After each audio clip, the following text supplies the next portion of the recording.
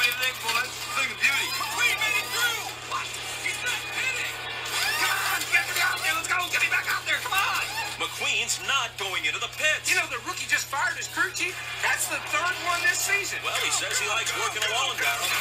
Looks like Chick got caught up in the pits. Yeah, after a stop like that, he's got a lot of ground to make up. Get ready, boys. We're coming to the restart.